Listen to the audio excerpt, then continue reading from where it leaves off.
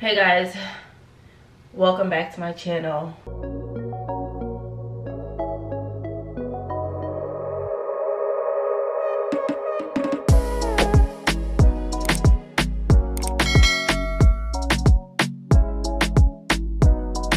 All right, y'all, so on today, y'all see me, I'm in workout clothes. The first time I'm in workout clothes all year long. I have a hard time with working out. If you've been following me, if you've been subscribed for a minute, you know I have a hard time working out. With that being said, today on this beautiful Saturday morning, 11.48 a.m., I'm going to work out. How may I feel about it, you may ask? I'm actually very, very uh, not excited, but I'm very optimistic. I believe that this is a year of change, and with change comes discipline. So I'm ready to discipline myself living a active lifestyle. However, I just found out that I left my gym sneakers back in Jersey. Which means I'm gonna have to wear Fila's to the gym. These are my Fila's. These I don't work out in. These are my fashion sneakers. These I have to work out in today. So I'm asking, if any of you know of any great workout sneakers, please leave them in the comment section below so I can go buy me a brand new pair because you know what? I think it was time to get a new pair anyways. The last one had holes in it, but they were workout sneakers anyways, so I didn't care. But yeah. So now you see me looking out the window, waiting for my friend Derica to come. So in the meantime, I'm gonna drink some lemon water. So my best friend Gabby actually gave me an electric, let me show y'all. She gave me an electric uh, kettle and look y'all, I'm about to plug it in right now and this thing's gonna be ready in 0.2 seconds. It's on, it's gonna turn green. The water in here where it's at right now and how it's orange and it turns green when it's ready. And, but I used to um, start my day off with some lemon water. Yeah, lemon water has so many different benefits for your body, um, for your skin. It overall helps with your digestive system. I remember when I used to drink lemon water, warm lemon water the first thing when I wake up. Um, maybe TMI, but it helps um, with having clear urine. My thing is finished. I'm kettling, as y'all can hear, which took, I think, like a minute. So I'm about to make this lemon water. I'm gonna drink it and I'm gonna head to the gym.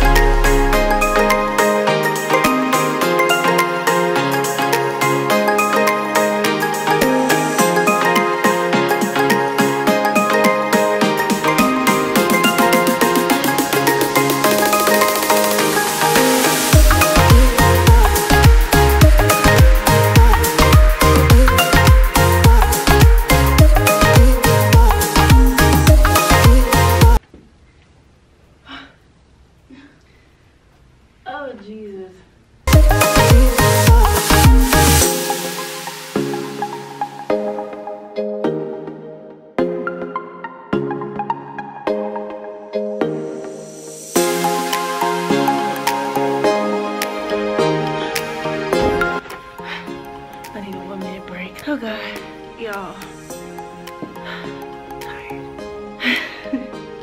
Not Derek over there laughing at me. I'm having a hard time, but that's what I get for not working out since September. I can't even breathe. I feel like I'm, uh, I don't know. Can't breathe, but we about to get back to work. I got all these workout equipment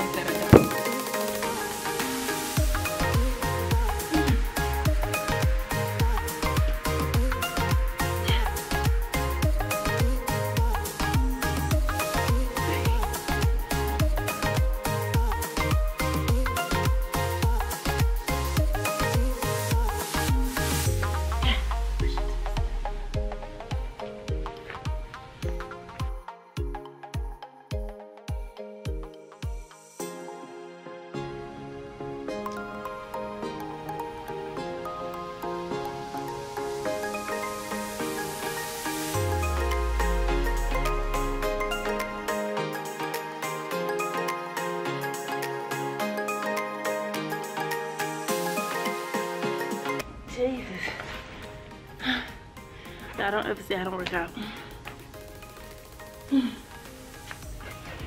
Yeah, I had enough. I had enough. I don't feel that bad, but my, my body is sore. I know I'm gonna really feel it tomorrow morning.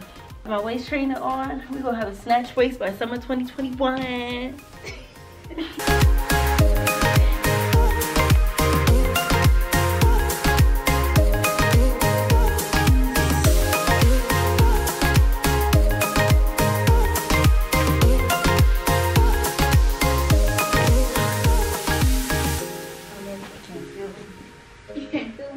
Good morning. It's the next day and it's Sunday morning. I'm getting ready for church. Yesterday I didn't finish the clips because I came back home.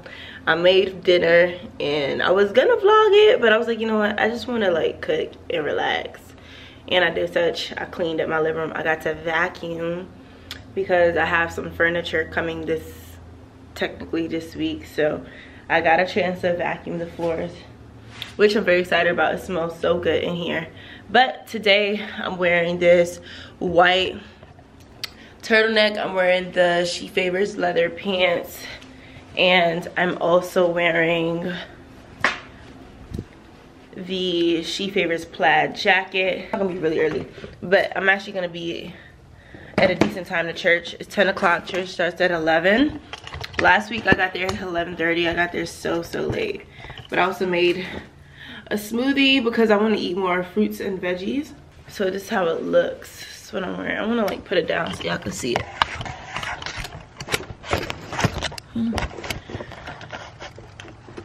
Okay. Alright. This is what I got on. And I'm gonna wear my Air Forces. I feel like being a little hood. So yeah, so that's my outfit.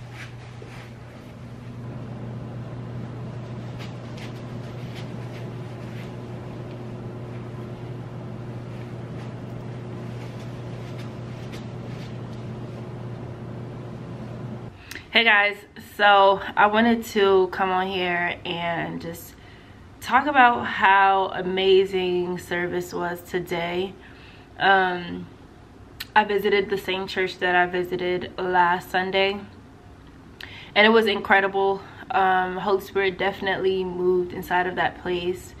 We actually stayed after service um about two hours just in worship and it was something that I definitely um, needed more than I expected or more than I even um, came there with the thought of. And um, we spoke on plenty different things and the Lord definitely highlighted, confirmed, affirmed, and really just set a peace in my heart. And um, it was just, so I just want to speak about this real quick. So um, when I first found out about this church and um, someone had invited me to it, the first thing I said was, um, does the presence of God dwell there?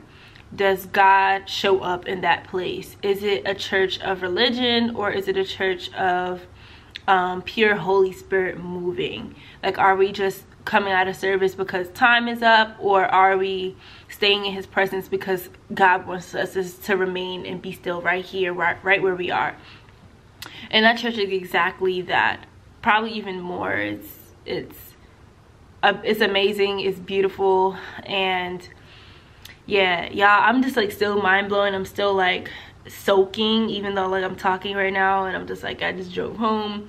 I still feel like I'm soaking and basking in his presence because God is just that good. And I believe that this year the Lord is definitely um, helping his children who have been finding um, trouble speaking up, whether it's in terms of just like sharing his word or like feeling not qualified. But if you are marked by God, you are chosen by God, and you are qualified by Him. If you have Holy Spirit living inside of you, you are more than qualified for whatever it is that He has positioned you to do. And I think for a long time, especially like growing up, like we are taught to stay in a child's place and not speak up on certain things or not get into grown folks' business. Who has heard that before? I've heard that before and I believe that God is doing a new thing in the young people and it's amazing to see um, even for myself it's amazing to see how God has transformed somebody who was once very very quiet and a lot of family members and a lot of friends can attest to this at least like childhood friends um, they can attest that I was a very shy girl. I was very silenced as a child. And it's not that um, I had tape over my mouth and I couldn't speak but I was taught that stay in a child's place and I also was just the enemy kind of uh, conditioned me to think that whatever I had to say was not valuable. So now like walk into the walking and continue walking into the season of boldness. Um, last year, 2020 started the season of boldness and actually proclaiming the name of Jesus. I never thought that I would come on platforms as Instagram and YouTube and really speak about the love, speak about the love of God and really just speak about what he's doing in my life. And that is like the beginning of the boldness, but I know that God wants to do more um, and he is doing more. He's doing greater things than what have we seen before. What i've seen before what you've seen before he's doing greater than that. And i just want to encourage anybody who feels like all right well i stepped away from the lord. Um, it's been weeks of reading my word without reading my word there's been times where i just like reverted back to my old ways. First and foremost i bind any spirit that's telling you that you're not worthy of receiving god's love. Scripture says nothing can separate you from the love of christ. So even if you feel like you have backslid and that is your your situation and that is your case right now know that god's still calling you back to him. Know that you are still qualified by him qualified by him you can still be used by him. And as long as you just walk repent and come back to him is no greater time than do so as now especially in the season of uh, unknown and uncertainty and all these things is going on in our in our country and in the world per se uh, we can't afford to to do this life without jesus. And today was just really just different for me. Like it was very transformative in plenty different ways and i'm not going to go into it too much because i don't feel led to do that right now but it was very transformative and it was definitely a day that's going to be marked in my heart. Um, so many things that were free from my heart and my mind if you know what i mean you know what i mean like um, walking in freedom walking in in the fullness of healing and and leaving 2020 where it was all the things that has caused burden all the things that has caused pain, leaving it where it is. The book of Isaiah speaks about the old has passed away and the new has come. So I'm just going to leave it here and just encourage any of you who have been battling with who you used to be and and things that happened in the past and where God wants you and what's to come. The old has passed away. You are not the same person. You can yes we have free will but you can make the choice of following christ full-heartedly. It's not enough to just go to church on sundays and just leave it there. The lord desires a relationship with you. And and in this relationship with christ comes freedom. It comes peace. It comes joy. Yes it comes with long suffering. That's a fruit of the spirit it, it, it's not peaches and cream i don't want to sell a story of every life is going to be amazing because it's not I have days that I cried more being saved than when I didn't. But what's the difference of when I wasn't saved is that I was dwelling in pain. I had no escape from it. I had no way to get out of it. Whereas now, if I am going through a, a, tribulation or a season of testing or trials or however you want to put it, I know that my rest comes from Jesus and I can rest knowing that I serve a God who is going to restore, who is going to redeem what was lost, what was broken. He's going to be able to to fulfill my every need essentially. I don't need to look for it from people or relationships parties clubs however you want to say it. I find my rest i find my joy from him despite what the situation looks like. So just want to leave it here. My food is beeping. I just um, warmed up some food to eat real quick. I'm so so tired but i just want to come on here and share it. Service was absolutely phenomenal. I just I have no words. It was amazing. So thank you, Jesus. Thank you, Jesus. Thank you, Jesus. I love y'all. Um, thank you, God, for giving me this platform to just be authentic with my walk with you and prayerfully, no matter what video you watch, that you feel the love of God, um, that you feel the presence of God that you leave um, each video encouraged or changed or wanting to know about Christ or anything of that sort. So I love y'all. Thank y'all for tuning into another vlog and I'll see you in my next video. Peace.